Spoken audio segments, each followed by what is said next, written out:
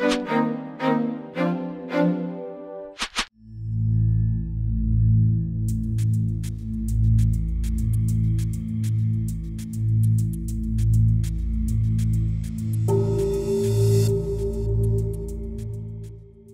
quanto tempo que o senhor está atuando no Sudão do Sul? Uh, eu cheguei na missão no dia 13 de janeiro desse ano. Um pouquinho, já com um mês mais ou menos de, de confusão no país. Exatamente. Qual foi a situação em termos de segurança que o senhor encontrou? Bom, quando eu cheguei aqui, tinha mais ou menos um mês que tinha deflagrado a crise, né? E aí todas as cidades estavam num nível de alerta, que a gente chama vermelho aqui, e, e a situação muito era, era muito imprevisível do que poderia acontecer. Né? Passado do, do, do, tempo, alguns estados do, do Sudão do Sul, que tem 10 estados, foram, foram adquirindo um status mais tranquilo de, de, de convivência, né? gente chama de verde ou amarelo. O senhor está em qual local? Eu estou num estado chamado Norten Gal Almazar, noroeste do, do Sudão do Sul. E qual a situação no estado que o senhor está? A situação aqui, felizmente, ela é, ela é boa. Ela, comparada a outros estados que são vermelhos, ela, ela é boa. Não, aqui, por ter uma predominância de, de, de uma, de uma tribo, né? A tribo Dinka, então não houve confrontação, pelo menos é, nível. A crise não é só assim, étnica, né? Ela é muito mais política, econômica do que étnica, mas eu, o, o, lado étnico também puxa bastante. Como aqui 90% da população é dinka, né? Então a situação é bem, bem tranquila. Onde que a situação é mais grave? É, nos estados de Jonglei, né, onde ano passado teve uma ação bem forte ali, no Upper Nile State, e Unity States. E são estados que, por coincidência, onde existe os poços de petróleo né, e, e os tubos que levam petróleo para o, o Sudão, né, o país do, do, norte. Então aí é que estão concentrados os principais problemas hoje, hoje em dia da, do país. Como é que o senhor é, explica, de uma forma resumida, o que está acontecendo, a crise no país? posso dizer que ela, ela tem um viés inicial político, o presidente que é de uma etnia e tinha o vice-presidente que era de outra etnia, que são rivais, vamos dizer assim, historicamente. É, em junho ou julho do ano passado, ele depôs o, o vice-presidente é, e, e, mais alguns ministros, alguns políticos. Ao todo, então, foram 12 que ele colocou para fora do governo. Isso aí veio é, ter repercussão em dezembro, onde houve um incidente na capital, incidente entre é, forças contrárias, e aí isso deflagrou no, no, no, país quase que todo essa, essas tropas anti-governo, assim como a ONU chama, né? tropas anti-governo, não chama de rebeldes, a ONU faz questão de chamar anti-governo e tropas do governo. Então aí começou toda uma, uma praticamente uma guerra civil. E quais são os, os principais riscos, as principais ameaças para os civis sul-sudaneses? Pessoas que foram deslocadas do seu local onde viviam, né? a gente chama de deslocados, né? deslocados internos. Buscaram abrigo nos, nas bases da ONU. Não é normal, mas buscaram abrigo, proteção. Né? E até, até agora ainda ocupam essa, essas bases. Então, o maior perigo do civil no meio de uma confrontação é ele ser a vítima da confrontação. Né? E, e, eles, e, a, e a, os confrontos tribais, eles não, eles não, não, não, não veem a, se o civil está ou não no meio da toda o confronto. Né? Então, o problema as mortes civis que são calculadas aí as mortes, né? não digo só de civis, mas as mortes no total, a conta está em 10 mil pessoas, segundo aí as fontes.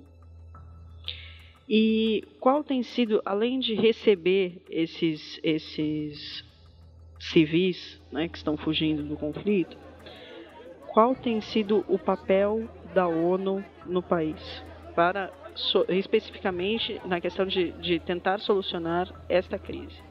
É, agora o, o, nosso foco agora são três, três pontos principais: a proteção dos civis, né, estejam dentro das bases da ONU ou não, direitos humanos e o suporte que nós temos que dar para as agências humanitárias.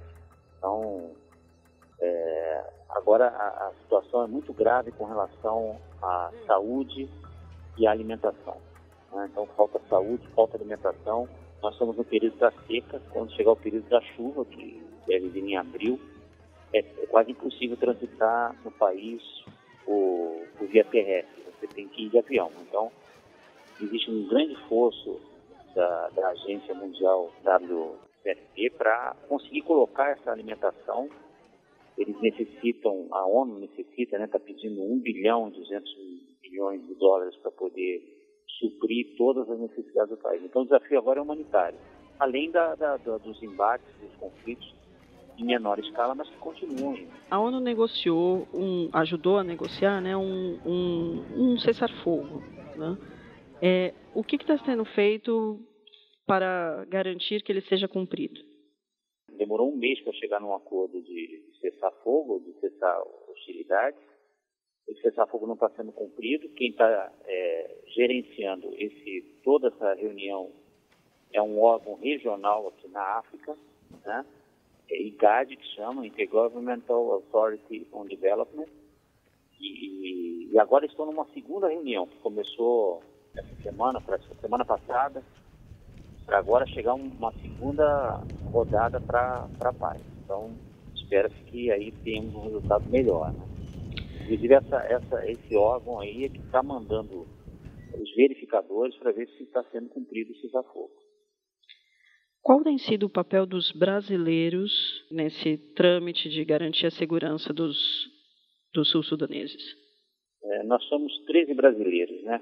Cinco são policiais militares, dois do Distrito Federal, um do Rio de Janeiro, um do Rio Grande do Sul e um do Paraná. E temos oito militares das Forças Armadas, um da Força Aérea e sete do Exército Brasileiro. Os policiais militares, a principal missão deles é, é orientar e, e, dar suporte à polícia do Sudão do Sul, inclusive com treinamentos, etc. Tá? Além da verificação de qualquer qualquer ato contra direitos humanos ou alguma ameaça aos, aos direitos humanos, né? Então, eles trabalham mais ou menos nessa nessa área. Os militares das Forças Armadas, eles são são oficiais de ligação, militares oficiais de ligação. Então, a nossa ligação é direto com o exército do, do Sudão do Sul. Então, para que, que a gente faz isso? Pra, primeiro, para estreitar um, e criar uma, um laço de, de, confiança. E depois, a gente é, dá, inclusive, treinamentos, né? E assessoria aos, aos líderes é, militares, né? No caso, é, cada estado tem um coronel no caso eu sou o coronel desse estado aqui que eu estou, eu tenho mais 10 militares trabalhando comigo. Então, os brasileiros, eles estão, cada um em, em seu estado, tem um coronel que é o chefe deles, eles fazem essa ligação, observam, é, colaboram com alerta antecipado, caso vejam que vai acontecer algum problema com relação a direitos humanos, com relação à proteção de civis. E a gente tenta humanizar um pouco mais o exército é, do Sudão do Sul, que há anos, né, desde 1956, eles, eles tiveram duas guerras e uma guerra de guerrilha. Então, eles, isso está na cabeça deles, de combater como se fosse uma guerrilha. E a gente tenta mudar isso. Então, a gente não dá treinamento militar, a gente dá treinamento de liderança, de proteção de civis, dessa maneira. É, como, é que, como é que é o povo do Sudão do Sul? O povo do Sudão do Sul ele é extremamente pobre, né? Eles vivem é, em pequenas aldeias, né? O clima aqui é, é bem dividido, né? O período da seca agora realmente não chove nada, está tudo muito seco, não, uma dificuldade de água bastante grande, apesar de eles terem alguns rios importantes aqui. E, e, é uma pobreza, assim, assim muito grande, muito, muito extrema, né? E vivem em tribos, né? Onde o homem, ele, ele, ele, ele é educado simplesmente para guerrear e a mulher é responsável pelo restante né, na casa, né? E, e aí quando vem o período da chuva é, pior ainda, porque eles não conseguem se deslocar, as aldeias são inundadas por água, então é uma carência extrema de infraestrutura, de tudo que você pode imaginar. O senhor já, já teve oportunidade de, de viajar pelo país? Ou o senhor fica só, só no, em um estado? Eu me concentro mais no meu estado. Eu viajei porque para chegar aqui a gente, para chegar de, de, Juba, que é a capital, até aqui a gente pega um avião, depois pega um helicóptero e aí chega no local. Se não chega onde eu estou, não, não, não chega avião da ONU, né? É, então a gente tem a possibilidade de ver essas cidades. Agora, dentro do estado, aí sim, aí eu viajo, vou nas aldeias, que é uma, uma missão nossa, fazer patrulha aí nas aldeias, chamar o, vamos dizer assim, o, o líder local, né, o paian que a gente chama. Aí esse líder local a gente pergunta várias coisas para saber como é que está, se existe alguma ameaça, né, é, qual é a situação deles, e aí a gente vai conhecendo o povo. Eles são muito receptivos com a ONU, pelo menos no meu estado aqui, muito receptivo o civil, né? E temos também uma boa, um bom, uma boa ligação com, com o exército desse estado aqui. Tem uma divisão de exército aqui no estado, a ligação é muito boa. Nesse é, mais ou menos um mês, né, que o senhor que o senhor está aí no Sudão do Sul, é, qual foi a situação que mais marcou o senhor? A situação que mais marcou foi ver o, a situação do, dos, como eu falei, os deslocados, né, são as pessoas que, que buscaram é, refúgio dentro das bases da ONU. Então, lá em Juba, tem duas bases grandes da ONU, né? É, é Topping e a UN House, onde existem milhares de pessoas né, nessas bases. Então, eles, eles estão vivendo uma situação de pouco espaço, muita gente é, juntas, sem condições de higiene, sem condições de água. Não porque a ONU não possa dar, mas porque é, muita gente não tem nem como acomodar direito, né?